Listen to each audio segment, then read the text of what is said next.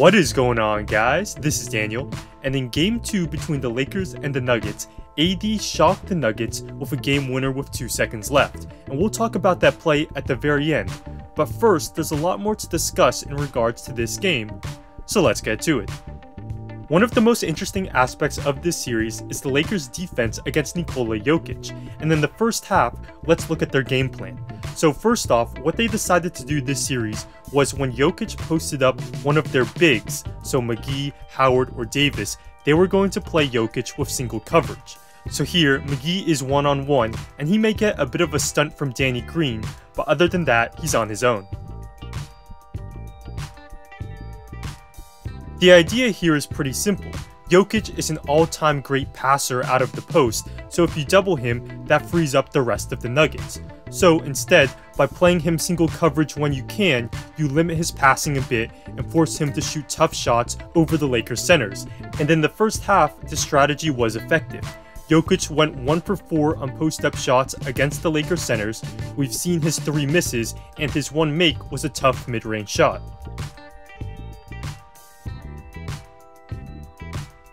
So in the first half, the Lakers bigs playing good individual post defense on Jokic contributed to the Lakers' first half lead, and the Lakers also played good post defense on Jokic when a small was switched on to Jokic. So here for example, the Nuggets run an inverse pick and roll where the 7-foot Serbian receives a ball screen from Gary Harris, and when the Lakers switch it, KCP is on Jokic. But when Jokic tries to catch it in the post, look how physical KCP is looking to front Jokic, and it's a turnover.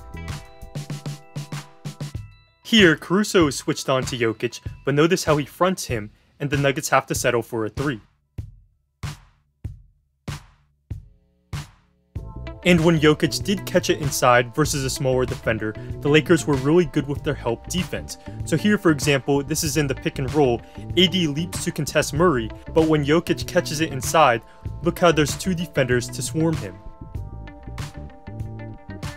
Or here, Jokic gets a switch with Rondo on him, and the Lakers' game plan isn't to double Jokic hard right away, which could unlock Jokic's passing, but as Jokic dribbles and gets closer to the hoop, then the Lakers will come with a late double, here AD helps, and Rondo nicely strips Jokic. And the late double is a great tool because often the offensive player doesn't see it coming. So here Millsap is posting up, and he thinks he has single coverage, but as soon as he dribbles and turns his back, then Rondo comes for a late double and catches Millsap by surprise. The other notable aspect of the Lakers' defensive game plan against Jokic is their dedication to take away his pick and pop 3. So here for instance, he goes for a pick and pop, and what the Lakers will do is late switch. So AD switches on the ball, and Kuzma veers off of Morris and takes Jokic on the pop. And here, Jokic does score against the mismatch.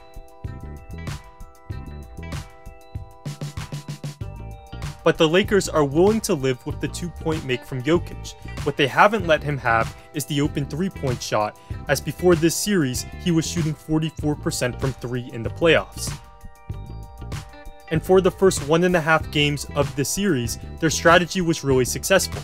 Only double when you have to, and don't let him take the open three. So here on the pick and pop, if Caruso doesn't late switch on Jokic, that will be a wide open three, but he does late switch, and Murray takes a mid-range shot.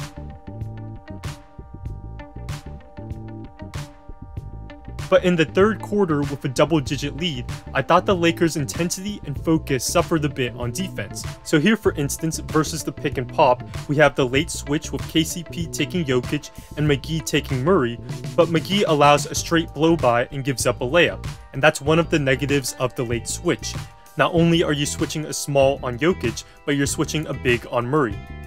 Less than two minutes later, we have a Jokic pick and pop, and Danny Green late switches onto Jokic, and this time we have Jokic taking Green in the post, but the defense isn't very good here, even when Jokic gets inside, there's no late double team, and he gets a pretty easy shot.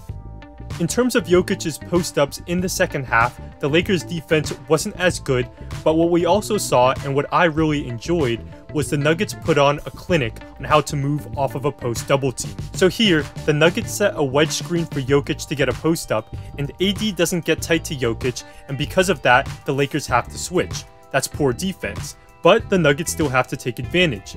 With the mismatch, the Lakers will double Jokic, and look how the Nuggets move off ball. Murray fills in front of the post up towards the baseline, and on the weak side, they get a cut from Craig. So you have an elite passer with the ball, the three perimeter players are spread out perfectly, and you have an athletic wing cutting to the hoop. The Lakers never had a chance. And as we run the play again, we see the gravity of Murray. Two defenders chase after him, and this is also the value of sprinting off ball, and that freed up the cut. Here we see it again. The Lakers will switch, probably a bit too easily, putting Caruso on Jokic, and then as AD goes to double the post, Murray will fill to his left, creating a good passing angle for Jokic and making that rotation for Kuzma much longer. And also, notice on the weak side, we do have that cut from Craig. And in the first half, we also had a great play from the Nuggets, where the Lakers switched, putting a small on Jokic, and then they came sending two to the ball with a double team, and we see the consistency of the concepts. Murray comes right, and Grant will cut, and what these two things do is forced the defenders to commit. Caruso takes Murray, Davis takes the cut, and now, with two on the ball, someone will be open. Now, the one other super interesting thing involving Jokic in this game was that because of some of the success Denver had against the late switch early in the third quarter, the Lakers started to stop late switching. And here we see Jokic pops and he gets an open three. Here, Jokic pick and pops against Dwight Howard, and we can see the potential disadvantages of no late switch. Jokic could be open for a 3, or here, when Howard runs Jokic off the line, he draws a foul. This adjustment was also featured prominently towards the end of the game. So here in the fourth quarter with a minute 40 left, there's no late switch, and when Davis runs Jokic off the line, Jokic bricks a mid-range shot. Quality D. But the next possession, Denver runs the pick and pop again, and this time, Jokic fires quickly and hits a three. So in game 3, it'll be interesting to see what the Lakers do late switch and give up a mismatch, or don't switch and possibly give up a 3. Moving on to the last 26 seconds, down 1 taking it out of bounds, the Nuggets run a play to get a Jokic post up, and as we know, the Lakers aren't going to double that with AD on Jokic, though here, Jokic scores in the post. I think the big question is, should the Lakers actually double in this situation? Well, for the series, Jokic had scored 11 points on 11 post-up shots versus the 3 LA Bigs, which is good, but I think from the Lakers perspective, you can live with that if it means not doubling.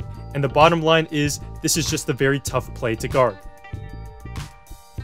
The Lakers come down after a timeout, and Danny Green will come up and screen for LeBron as they're trying to pick on Jamal Murray. And in my opinion, the Nuggets switch a bit too easily, so now LeBron has the mismatch, and he drives and creates an open three.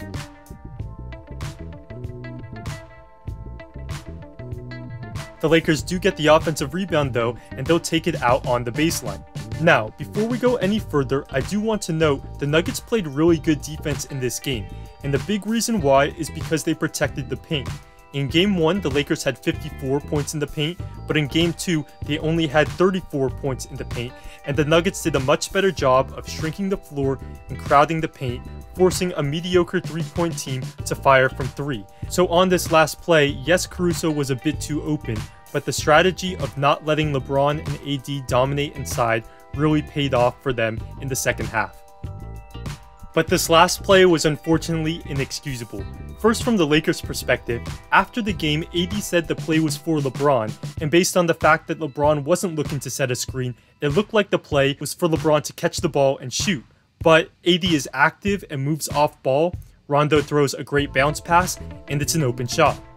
What the Nuggets did made sense. Put your biggest player on the ball, and they subbed Millsap out and Plumlee in because with 2 seconds left, you'll often see a lob play, but sometimes substitutions do backfire, as Plumlee isn't as comfortable defending on the perimeter, he gives AD too much space, tries to call out a switch when he shouldn't have, and AD wins the game.